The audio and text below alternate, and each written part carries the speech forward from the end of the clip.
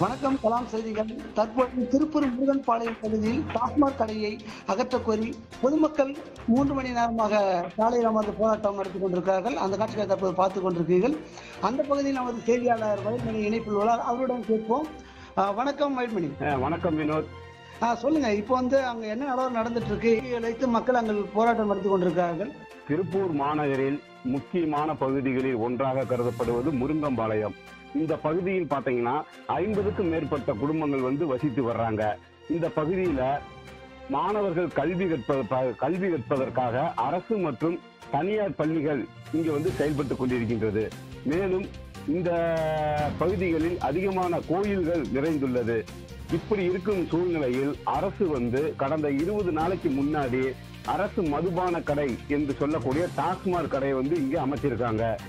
எனவே இந்த டாஸ்மாக் கடை வந்து உடனடியாக அகற்றப்பட வேண்டும் என்று இப்பகுதியில் பொதுமக்கள் மற்றும் பெண்கள் சட்டமன்ற உறுப்பினர் பாராளுமன்ற உறுப்பினர் மாவட்ட ஆட்சியர் ஆகியோரோட வந்து பல முறை மனுக்கள் கொடுத்திருக்காங்க. இந்த டாஸ்மாக் கடையினால மாணவர்களுக்கு பாதிப்பு ஏற்படுகிறது. கோயிலுக்கு வரும் பக்தர்கள் முகம் சுளிக்கக்கூடிய அளவில் மது பிரியர்கள் நடந்து கொள்கிறார்கள். எனவே இந்த டாஸ்மாக் கடையை வந்து உடனடியாக அப்புறப்படுத்த வேண்டும் என்று பலமுறை கோரிக்கை வைத்துள்ளார்கள். ஆனால் இதுவரை அரசு அதிகாரிகள் யாரும் பேச்சுவார்த்தைக்கும் வரவில்லை. இந்த கடையை மாற்றுவதற்கு உண்டான வேலைப்பாடுகளும் நடைபெறவில்லை. இதனால் ஆத்திரமடைந்த பொதுமக்கள் மற்றும் பெண்கள் இன்னைக்கு வந்து இந்த கடையை முற்றுகையிட்டு ஐநூறுக்கும் மேற்பட்ட பெண்கள் வந்து போராட்டம் நடத்திட்டு இருக்காங்க. ஆனா போராட்டம் நடத்தும் வேளையில் கூட அரசு அதிகாரிகள் அல்லது அரசாங்க ஊழியர்கள் யாரும் வந்து இந்த போராட்டத்தை பற்றி கேட்காததுனால ஆத்திரமடைந்த பொதுமக்கள் சாலை மறியலில் ஈடுபட்டு வர்றாங்க. இந்த சாலை மறியலில் உட்கார்ந்த உடனேயே வட்டாட்சியருக்கு தகவல் கொடுக்க உடனே விரைந்து வந்த வட்டாட்சியர் பெண்களிடம் பேசி உடனடியாக இருபது நாளைக்குள்ள வந்து இந்த டாஸ்மாக் கடையை வந்து இந்த இடத்துல இருந்து வேற இடத்துக்கு அப்புறப்படுத்துறோம் அப்படின்னு உறுதி கொடுத்ததுனால வந்து உடனே இந்த போராட்டம் வந்து பெண்களால் கைவிடப்பட்டது.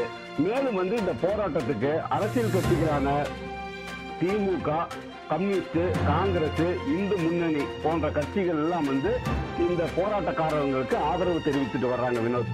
ஓகே இப்போ பார்த்தீங்கன்னாக்கா ஏற்கனவே அந்த பகுதியில் மூணு மதுபான கடைகள் அமைக்கப்பட்டுள்ளது. நான்காவதாக இப்போது மதுபான கடை அமைப்பதற்காக மக்கள் எதிர்ப்பு தெரிவித்துள்ளார்கள். ஆமா வினோத். ஏற்கனவே மூன்று கடைகள் இந்த பகுதியில் இருக்கிறனால பல்வேறு பிரச்சனைகள் நாள்தோறும் வந்துகிட்டே இருக்குது. இந்த மூன்று கடைகள்லையுமே எடுக்க சொல்லி போராட்டம் நடத்திட்டு இருக்கிற வேலையில் அதிகப்படியாக புதிதாக வந்து ஒரு கடையை அரசு வந்து அமைச்சிருக்காங்க. அதனால இந்த பகுதியில் வந்து டாஸ்மாக் கடைகள் வேண்டாம் அப்படின்னு சொல்லி பெண்கள் போராட்டம் நடத்திட்டு வர்றாங்க. நன்றி. தகவலுக்கு நன்றி மதிமணி நன்றி வினோத். தற்போது பார்த்துக் கொண்டிருக்கிறீர்கள் திருப்பூர் முருகன்பாளையம் பகுதியில் அமைக்கப்பட்டுள்ள டாஸ்மாக் எடுத்து கோரி மக்கள் ஆர்ப்பாட்டம் செய்து கொண்டிருக்கிறார்கள்.